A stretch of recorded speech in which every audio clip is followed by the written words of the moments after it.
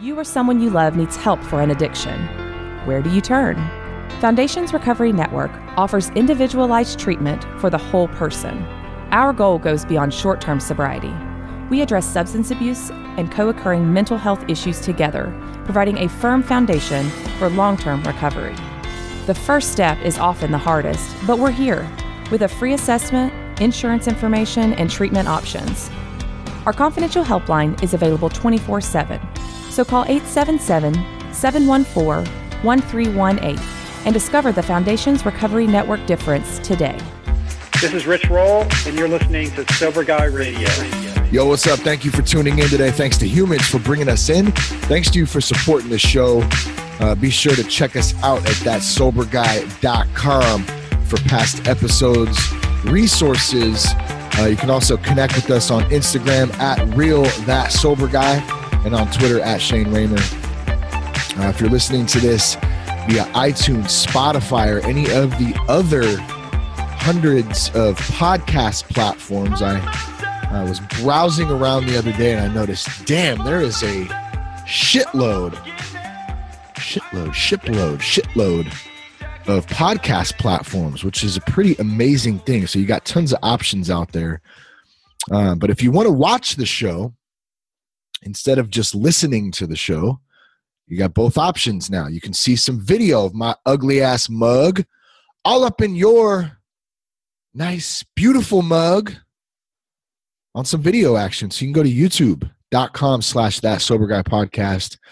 Make sure you hit the subscribe button. I didn't do a very good job of building the YouTube platform uh, when I started Sober Guy. So I think I'm a little behind the curve on that.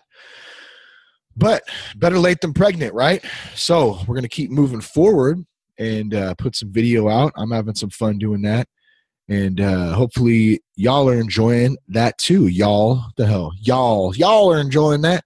I ain't hating on anybody that says y'all, by the way, but y'all, y'all, hoo I'm from Cali, son. I'm not from Texas. Although I'd like to go to Texas. I hear Texas is an amazing place. I stopped on a runway in Dallas. That is the closest. Wait, that didn't make sense. I stopped on a runway.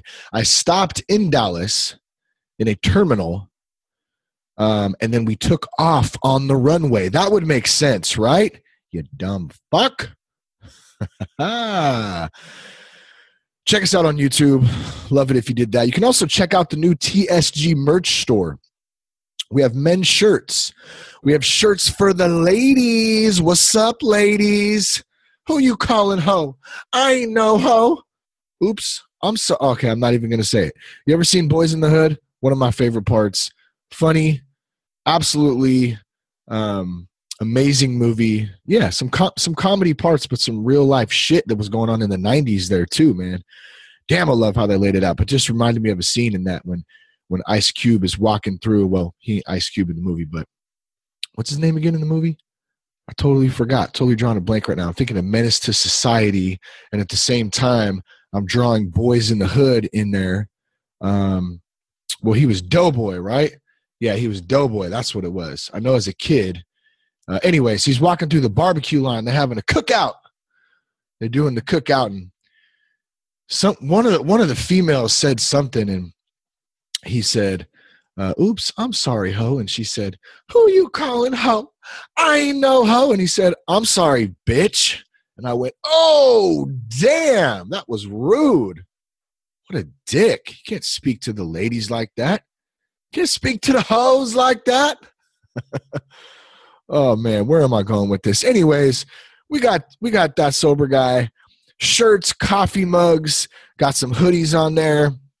Uh, help support us, support your recovery, rock your sober guy gear, represent. You can get your TSG merch today at thatsoberguy.com. You can go there and click on the store tab, and uh, it'll take you over there, and you can check it out. And we love, uh, we love your support. We thank you guys. Thank you for listening to the show. Um, thank you for talking about recovery. Thank you for, um, you know, having an open community that uh, that that speaks openly, that supports each other, all that good stuff. Uh, you know, I don't talk about it often enough, probably too. We also have a Facebook group. It's a private Facebook group, uh, but but you can uh, anyone can can join. Of course, we would we would like it if you're in recovery or connected to it, even codependency, that kind of stuff. Uh, but that's what it's there for is to connect and support each other. Uh, so if you go to Facebook, uh, you can just type in sober guy or that sober guy, and uh, you should be able to find the group on there.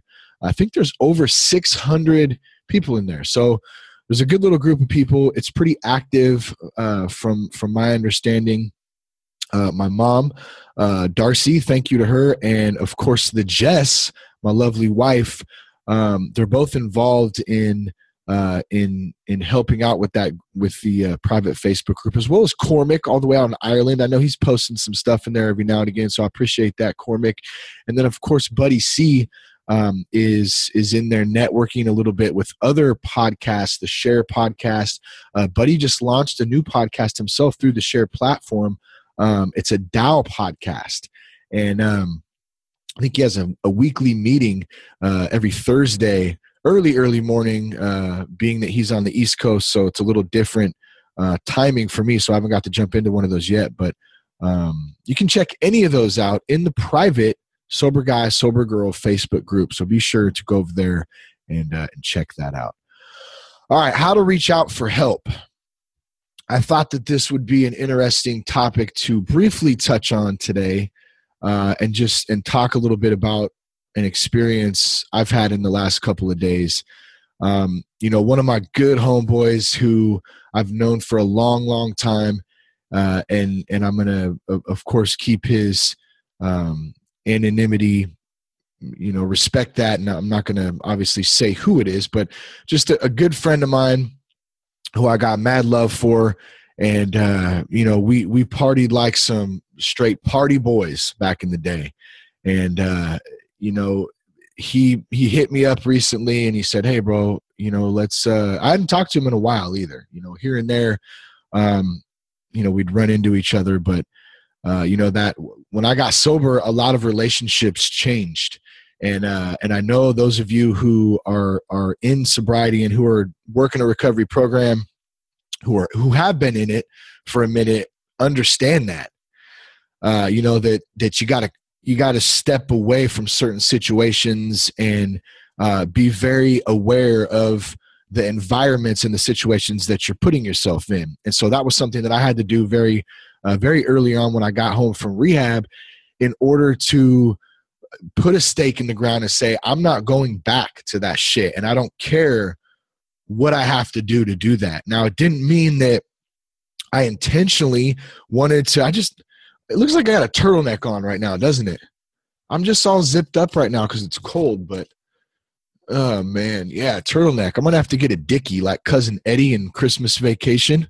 That'd be legit right there. He's got the white V-neck with the black dicky underneath. Oh man, that's just superb. I love that. Anyways, what the fuck was I talking about? Um, it wasn't my intention to get you know to alienate my my friends or some of them were good friends. Some of them were acquaintances. Some of them were were my party homies. Like you know there's all different groups of people and and and places that we'd go and um you know different different uh different groups i guess. And in order for me to sustain being able to stay sober I had to get my ass out of a lot of those situations and and and being around a lot of those people.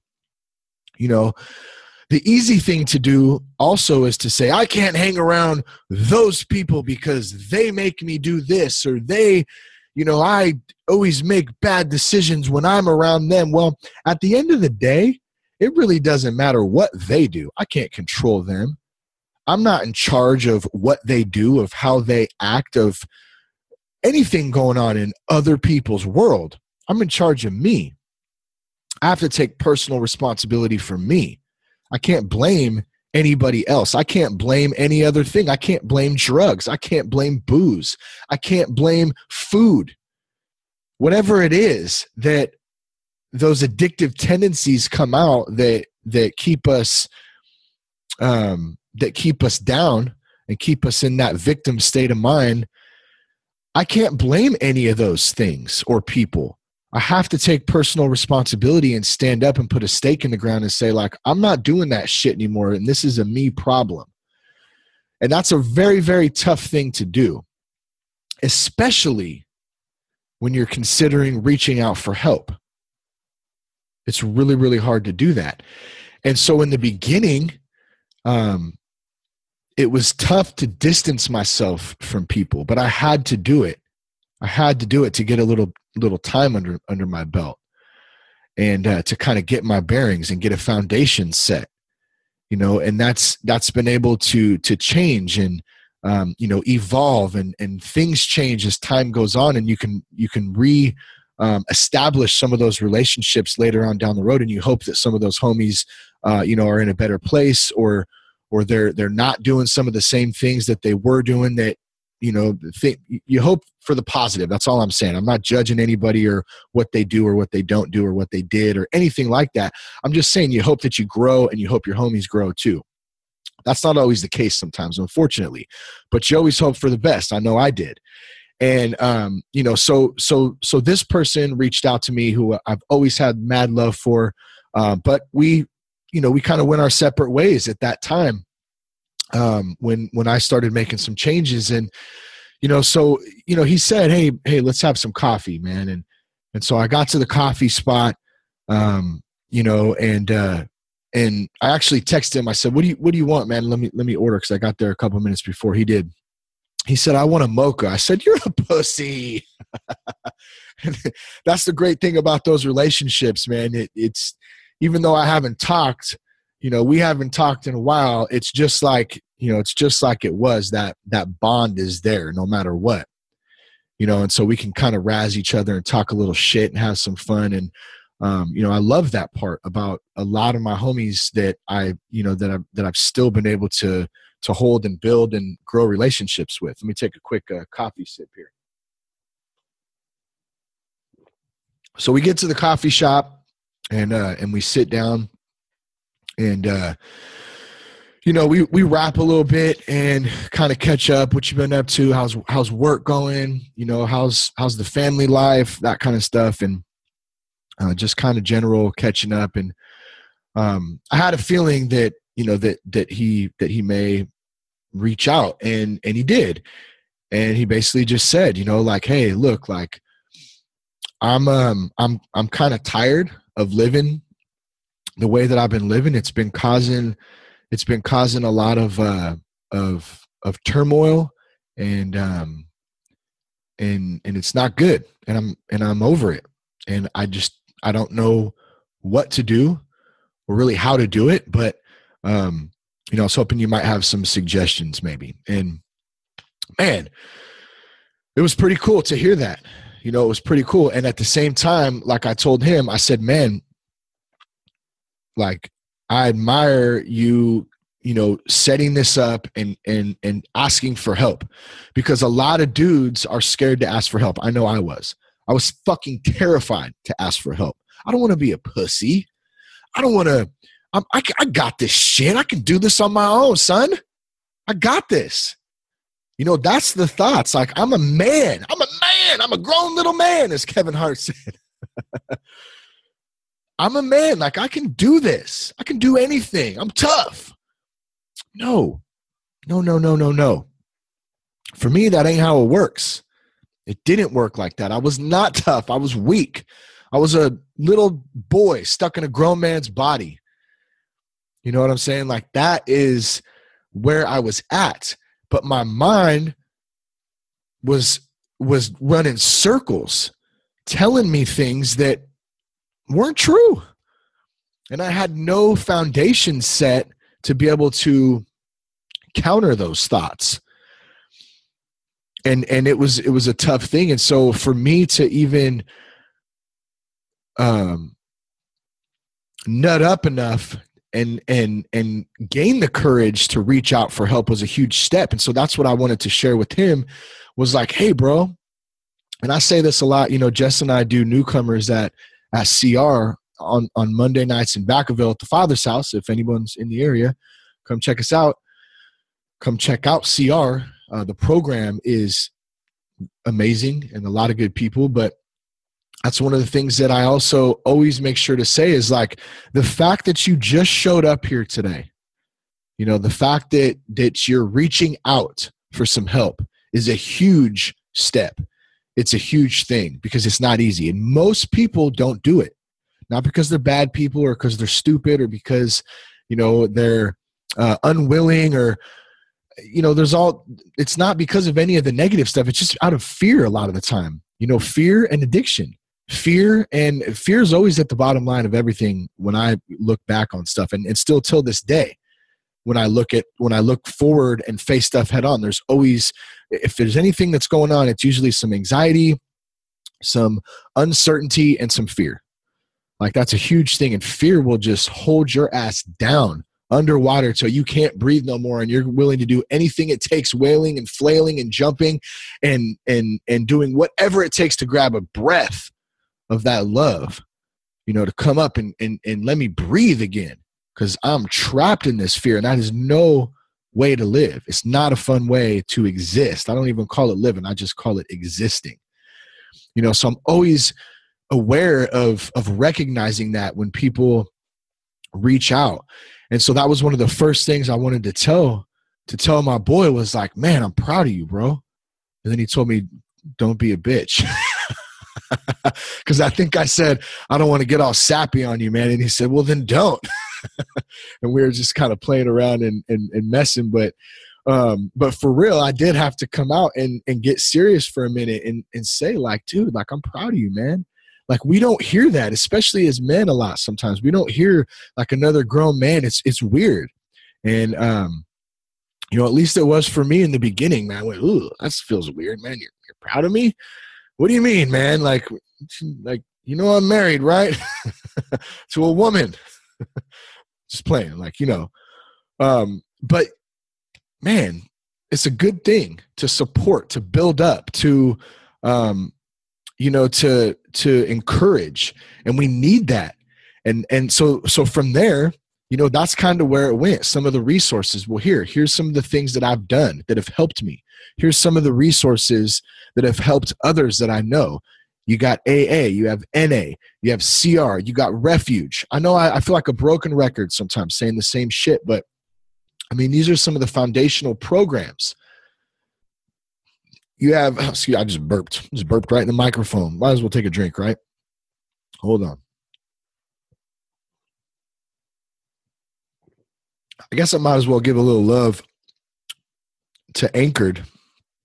Anchored Recovery Center, anchoredrc.com. Met these guys at uh, the Foundations Conference out in San Diego. Was it last year or the year before? I want to say it was the year before that we met them uh, out there. And um, speaking of foundations, too, if you or a loved one is struggling and you need some help, you need some questions answered, I should have done this earlier, but we'll do it now. Um, foundations is a great company for real.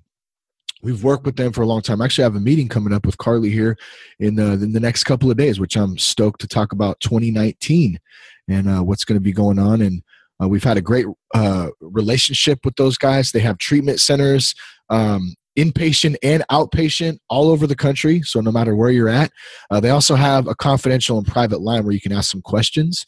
And uh, you can do that. Let me give you the phone number. It's 877 714 1318. Uh, and they can help you. They can help you or a loved one. And if anything, if you just if you just have some questions about what to do, where to go, who to contact, or you just don't know, you just you just need to talk about recovery and figure some things out um, feel free to reach out to those guys. Let me give you that number one more time. It's 877 714 1318.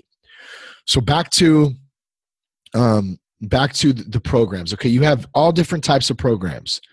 There's you know do do a search. Go on Bing. I recommend Bing.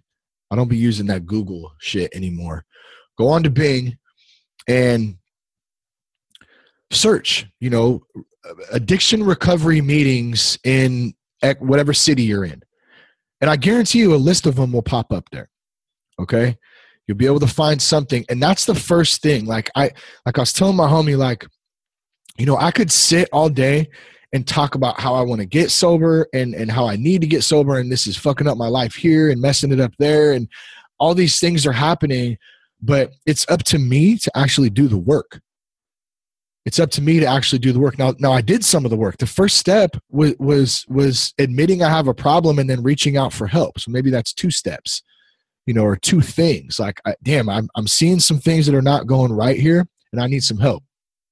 And then boom now i'm going to reach out for that help. I'm going to talk to somebody i trust you know that that's been there that's been through some some things.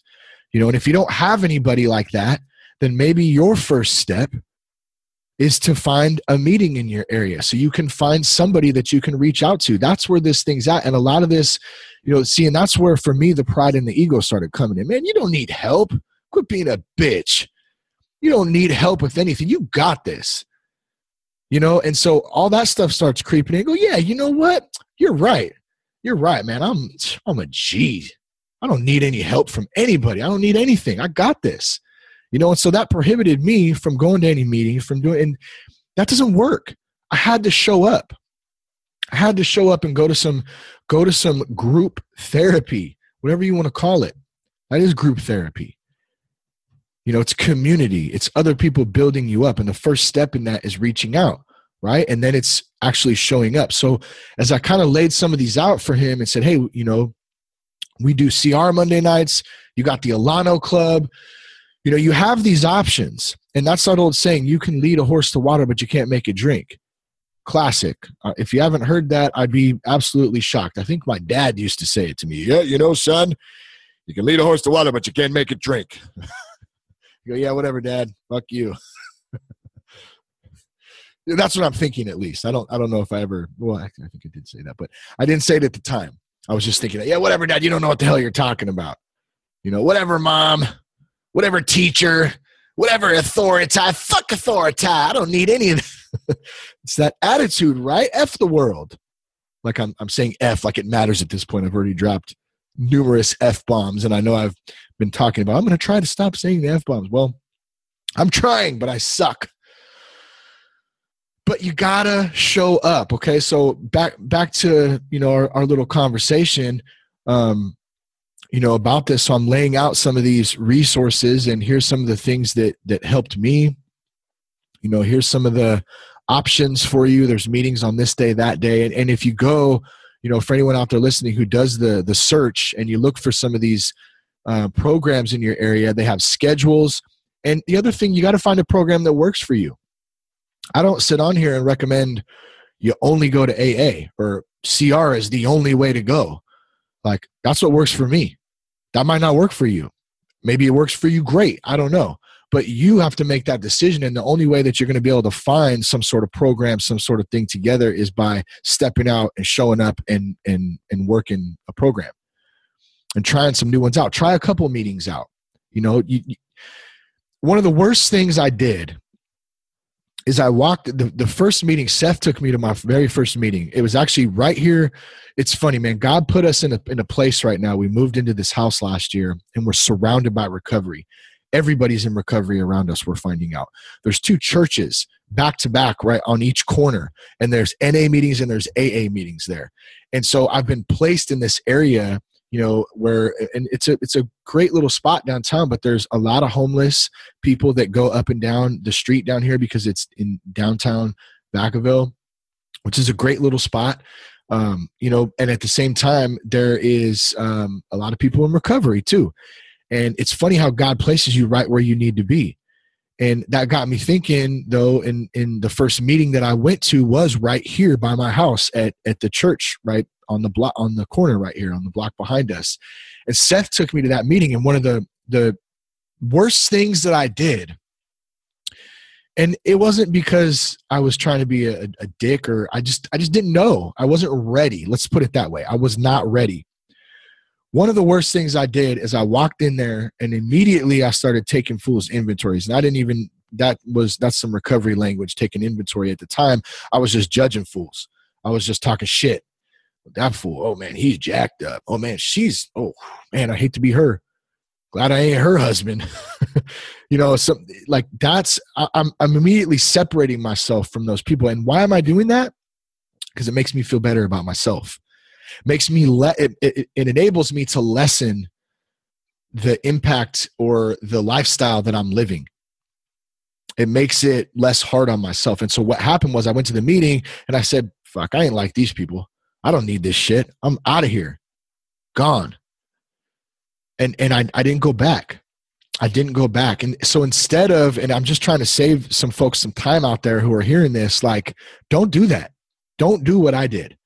Go into that meeting with an open mind and an open heart and say, hey, look, I don't know what to expect because it's scary, right? Going to your first meeting, especially in public, in in maybe it's in your community. I think I think it was Buddy who said he used to drive 30 miles to go out to a different meeting because he didn't want to be seen in his community. So if that makes you feel better, do some shit like that. As long as you're getting to a meeting, that's what matters because it is scary. I get it. You know, but at the same time, you know, going into that and keeping an open mind, an open heart, and and not judging, not taking inventories, knowing that there's a reason that you're there is huge. And if I would have done that out of the gate, I might have stayed around a little bit to open my mind up a little more and and I could have 6 or 7 years you know in in recovery right now and save myself a couple of years because I think it I think after that very very first meeting Seth took me to I went out you know, again for another year or two and continued the drinking and the drug using and all that. And that's when it got, you know, extremely bad. Um, but those resources are there and it's up to us to find them and, and to, uh, and to do the work. So, um, where am I going with this? T- truth is, I don't really know. So I'm going to wrap it up right now. Um, reaching out for help you know back back to our main main topic. It's a scary thing. It's one of the first steps and it's a huge it's a huge weight. And i and i off of let me say like this it's a huge weight off your shoulders. I know from experience because that that moment when when i sat down and i said i told somebody i told jess i told my wife you know hey i love you. Drink drink the rest of my vodka. I don't think it even hit me yet and I didn't care. I don't even remember getting like intoxicated because I was so scared and nervous and like just ready to admit, desperate. But I said those words, those three words I need help. And it was literally like the weight of the world just shifted off of me and just was lifted up. And it was like, oh, damn, that's what that feels like like surrender surrender. I don't have to do this anymore. I can't do this. I cannot continue to wear this energy, this burden, this lifestyle that I'm living. I can't do it anymore. I'm not designed to carry this shit. There has to be something higher to help me. And so once I did that, it was scary as shit i gotta say because you don't know what's coming next and then there's that full commitment aspect. I don't like to fail. What if i fail? What if it doesn't work? What if you know what if i hate it? What if being sober sucks and it's boring as shit? Those questions are normal. At least they were for me. You know but here's how this conversation you know kind of wrapped up with with me and my homies was you know the the resources we kind of laid some of those out.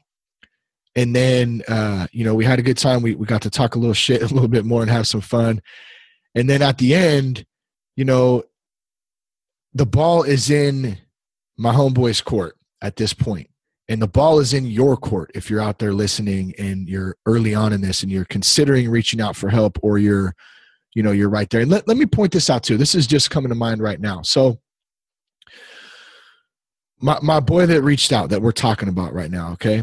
He doesn't even know that by him reaching out for help, this is how this works in recovery. This is how service works. This is how the domino effect works. By him reaching out,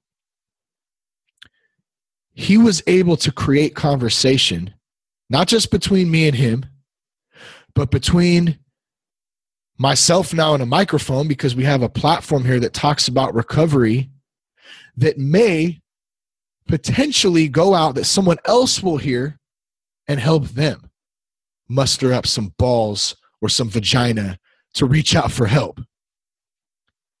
That's how this shit works. And that's what's so amazing about it is when we're open and we're talking about this stuff and and we are doing the next right thing amazing stuff can happen and so that's kind of where the conversation ended was look don't worry about the future.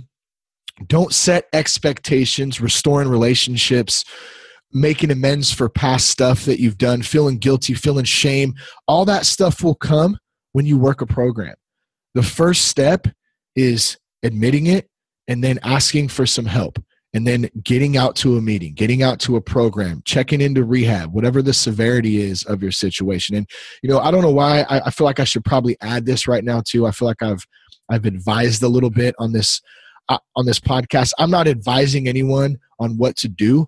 I'm I'm I'm really just trying to share what worked for me and what has worked for some others that I've been around. I'm not a doctor.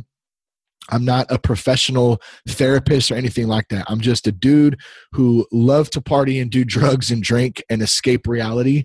And um, you know, I've I've seen some things and been through some shit, and I'm trying to share about it. So I just want to make that clear to uh, to well the the podcaster uh, clearly stated that he that's not what I'm trying to do here. Okay, um, and at that, I'm trying to have a little fun with this. We got to find comedy we got to find comedy in the seriousness of life or life is fucking boring and it's and it's there's it's too serious had a conversation with seth as a matter of fact last night and i hope he doesn't mind me saying this but we kind of talked about just man we've just been taking shit too serious lately. It's not that serious. It's not. Because one day we're gonna die. Is it really worth it to walk around pissed off and serious and beating ourselves up and not having fun? You know and it's not. Life is short. You know so we got to do the work. You got to show up. You got to do the work that it takes to live a healthy positive pma positive mental attitude love it lifestyle. Okay? Okay okay okay okay okay okay i love you guys i hope something my rambling ass said today might help somebody else out there that's what this is about serving others to my homeboy if you know that that that um we met this week. I love you. If you happen to listen to this, um, stoked. Anybody else out there who uh, who's looking for some help, uh, there's plenty of resources at thatsoberguy.com. Like I said, you can also uh, just look up in your area. Where is there a meeting?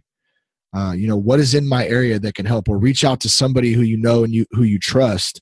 Um, and if you need help with any of that stuff too, um, you know there's um, there is plenty of resources around you once you step out. I guess what, what am i trying to say here? Once you get into community you're going to find by doing the next right thing that doors will start to open. People you will start to meet people you will start to realize things there will be things that open up once you do that and stepping out and that, that is one of the hardest parts but I'm, I'm here to tell anybody if i can do this shit so can you Trust me. Just do it. Say, fuck it. I'm all in. I don't care what anybody thinks. I don't care what anybody says.